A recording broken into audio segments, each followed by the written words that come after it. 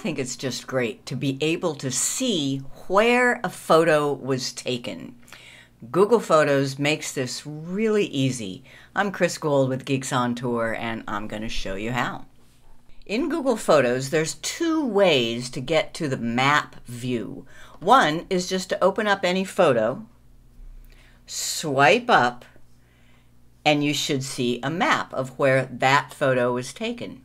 If you tap on the map, now you're in the map view and you can pinch and zoom in the map view and every place that you see the little colored heat map is where there are photos. And at the bottom of the screen, you can scroll through and they're in date order. So you see location on the top and dates on, on the bottom. Pretty handy. The second way of getting to the map view in Google Photos is from the menu. So I'm just back out at main Google Photos, and if you tap on Collections, there is a section for Places. Tap on Places, and the first block is the map.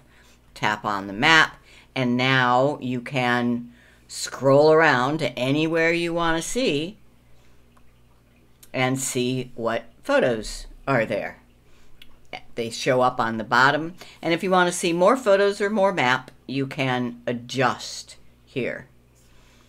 What if you don't see any photo locations? Well, maybe your camera on your phone is not set to record the location where you took it. Let me show you where that is. First on Android. On Android, you have to open the camera app and then tap the little gear for settings and look for, in my case, this is a Samsung and the setting is called location tags. You want that on. Some might call it geotags. Just find the setting in the camera. On the iPhone, the setting for recording the location of a photo is in your main system settings and then it's under privacy.